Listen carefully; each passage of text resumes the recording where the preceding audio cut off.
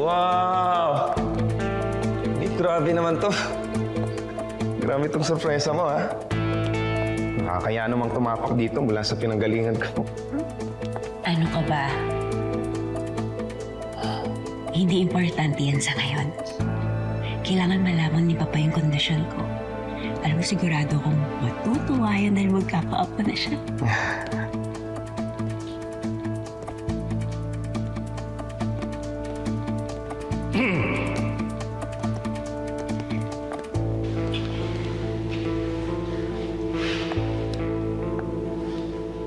Papa, si Bernard.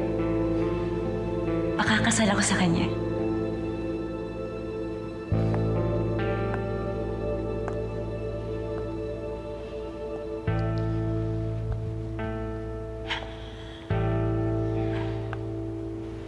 Papa, buntis ako. Magkakaapo ka na. Bagong lalaking mamamahala balang araw. Nahihibang ka na ba? Kung sino-sinong mga lalaki pinagdadadala mo rito, wala ka talagang silbi. Gamitin mo yung utak mo bago ka magpatapak ng tao dito sa pamamahay ko.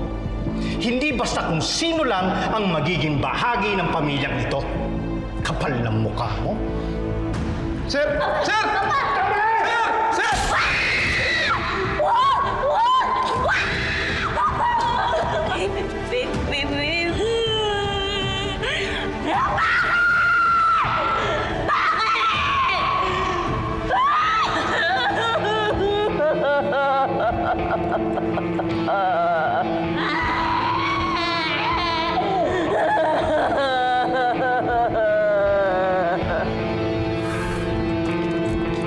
Ano nangyari?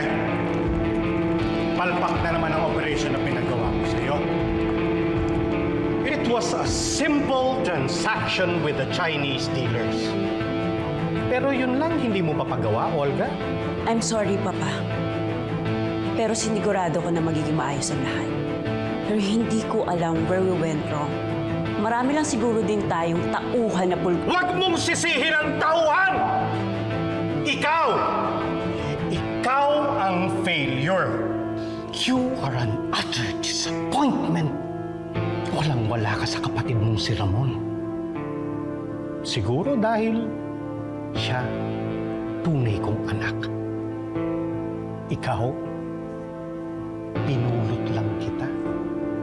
Wala kang silbi.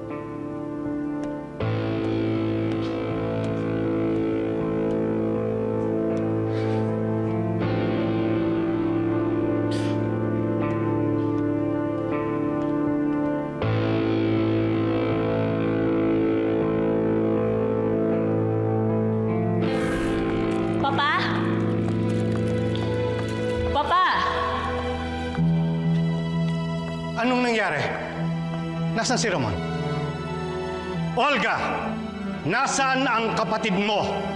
Papa, nagkaroon po kasi ng kaguluhan. Natunugan ng mga polis. I'm sorry, I lost him.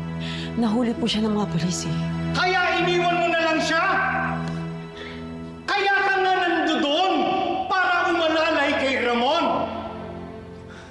You are useless! Wala kang kwenta. Wala kang kwentang ikumpara sa kapatid mo. Ano pang hinihintay mo? Ano? Tutunganga ka na lang dyan? Kilos! Kapag may nangyaring masama kay Ramon, ikaw ang malilintikan sa akin, Olga. Oo,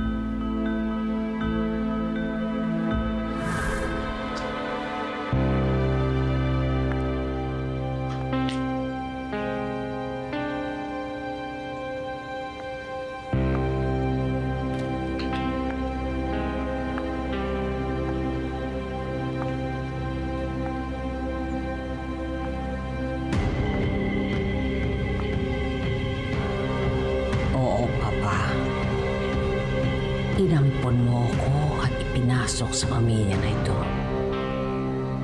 Naging sunod-sunuran ako sa inyo. Ginawa ko lahat ng pinagawa niyo.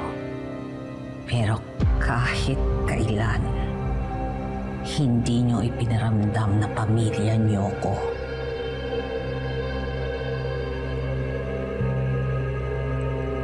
Buong buhay niyo akong pinaniwalang magiging parte ako ng pamilya niyo. Pero wala. Tauhan lang ang tingin niyo sa akin. Kaya umasa ako na magiging mabuti kayo sa anak ko. Na kahit man siya ay tratuhin niyo ng maayos. Pero ano nangyari? Pinalimulan niyo siya. Kahit sa kamatayan niya, wala kayong ginawa. Dahil? Dahil mas importante pa ang sinasabi niyong anak niyo kaysa sa anak ko. Dapat nung ko pa tinapos lahat ng ito. Dapat tinuluyan na kita nung nakakulong si Ramon. Mauna ka na kay Ramon sa impyerno. Bago ka dito? Eh, oo. Ah, kakapasok lang namin. Kasama kami ni Monique. Anong pangalan mo? Ay, ako nga pala si Enteng. Nice to meet you. Di ikaw. Siya. Tanggol. Tanggol.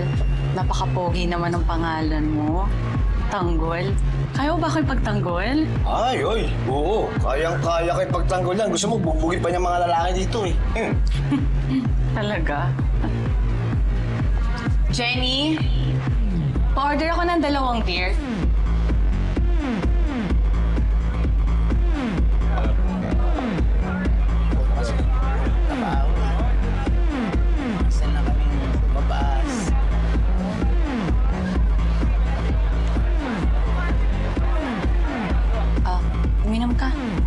Pwede ba? Kita ko, stress ka eh. Tanggol. Baka makita tayo, tanggal tayo sa trabaho niya. Ako bahala. Ako bahala pag nakita tayo ni Boss Pancho.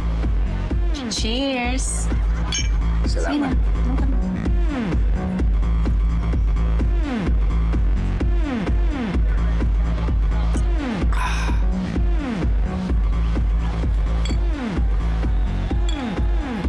Saan ka pala nakatira?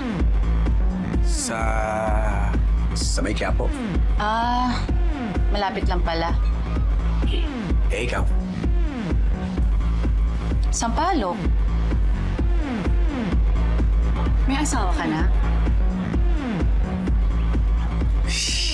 Wala pa. Girlfriend.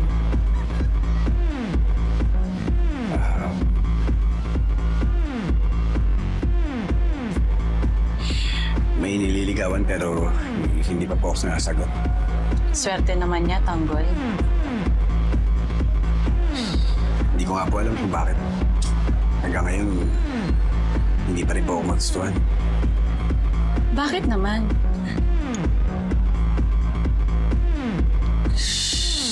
Hindi ko nga po alam eh. Eh kasi po kahit anong gawin ko parang ayaw naman sa akin. Ang gwapo-gwapo mo kaya. Tanggol.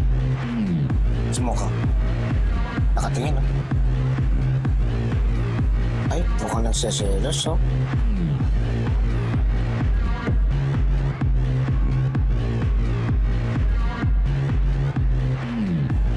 Hi, sir! Kamusta kayo? Kamusta kayo, sir? Bago yan ah. Sino Pwede po? ba siya matable? Si, yan po? Oo. Hindi po pwede, sir. Nakita niyo nakatable, oh. Ah, ganun ba? Gusto niyo siyaba na lang. O, sige, sige. O, sige, Walang upo muna problema. kayo. Upo muna kayo. Upo, upo kayo. Upo. Pare, Nen bro, tingnan mo yung sa kabilang mesa, ang ganda yun. Oo nga, eh, kanina ko pa yung napapansin eh. Nakakatakam talaga. Pag nagkapera tayo, abangan natin yan. Naku, ubusin ko ang pera ko dyan bro. Sa babae na yan. Yes po, sir. Pwede ba yun yung maganda? Ako sir, nakatable pa po eh. Pagkatapos, pwede na ba ako? Aba, of course. Promise sa inyo yan, ha? O, bahala sa inyo. Dali lang. Okay, okay. Dali lang po, ah.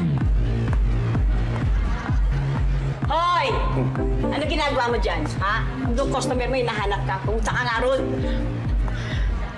Mami naman. Kita mo naman kumakarir ako dito, oh. Asikasuhin mo muna yung customer mo bago ka lumandi dyan. Doon! O basta, Tanggol. Pag nagbago yung isip mo, andito lang ako, ha? Mamaya, babalikan kita. Nandito lang ako. O ikaw, bakit ka umiinom? Eh, binigay lang po sa akin. Ano pakialam ko? Bawal yan dito. Magtrabaho kayo! Bitiwan mo yan! Sorry po. Sorry po. Yes po. Hindi ka lalaking tao, lanti-lanti. Tagol. Mukhang effective dito. Mukhang... Mukhang nagseselos na, oh. Oh? Teng. Parang akong nahihirapan eh. Parang hindi ko kaya yung sitwasyon natin dito. Hindi ko kaya nakikita ko ng ganyan si Mocha. Hindi ako tatagal dito. Baka kung ano magawa ko.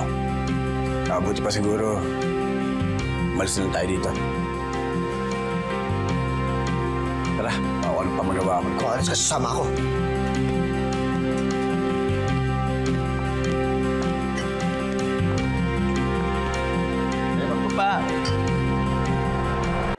Ay, parang sa simula. Pinit lang. Meron pa nga tol. Kumusta sa labas? Ayos, boss. Malaki ang kikitain natin ngayon. Maraming mga customer nagre-request kay Muni. Yung customer nga yan, tagal-tagal ngang umalis eh. Kung nag enjoy at na-in love. Tama ka nga, boss. Maganda nga si Muni. Mas dadami pa mga customer na magkakagusto sa kanya, boss. Pero babantayan mo siya ng maigi ah. Walang maaaring humawak doon. Hanggang akbay at hipo lang sila. Ako lang ang dapat mag-uwi sa kanya mamaya. Mukhang malabong mangyari yan, boss. May dalawang gwardya. At may dalawang asungot pa, di ba? Papakialam ko sa mga yun. Pagbubugin sila. eh. Tama! Hindi ubra sa'yo yung dalawang asungot na yun eh. Tama ka, boss. Tama.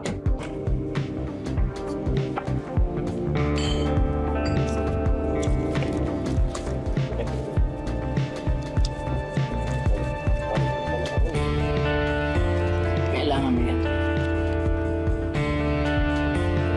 Ano, Tagol? Papala mo tayo kay Mokam?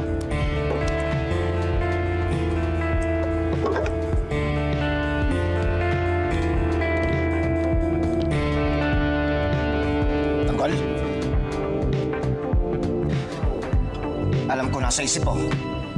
Binabalaan kita pagsisisiyan mo to. Tanggol, easy lang to.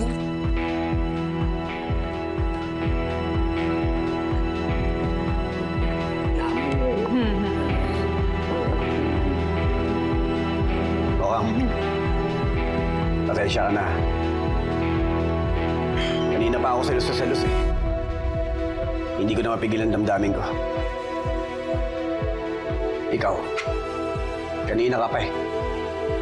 Kung maka-aplos ka, ginagawa mong isda eh.